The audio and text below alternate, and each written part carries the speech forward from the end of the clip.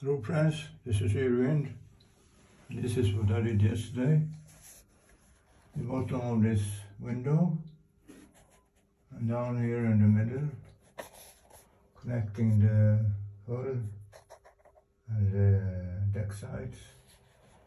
So now I'm going to do a bit more. One window in the back here and this edge here and uh, well, there's not so much to do today but that's okay.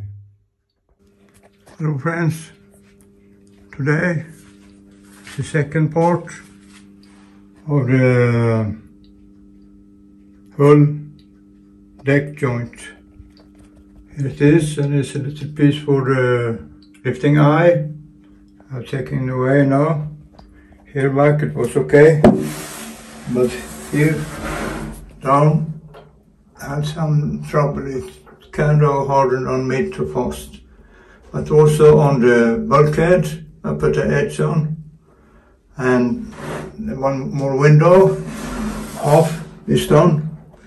Well, I had epoxy on the ice, but the lamp in here makes it very hot.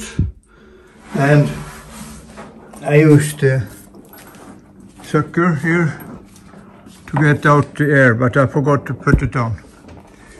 Also, maybe I don't like it because this machine sucks out air. It makes a tremendous noise.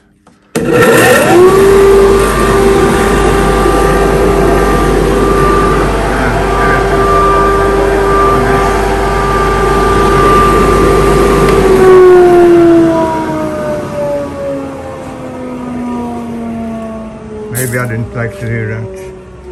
Well, anyway,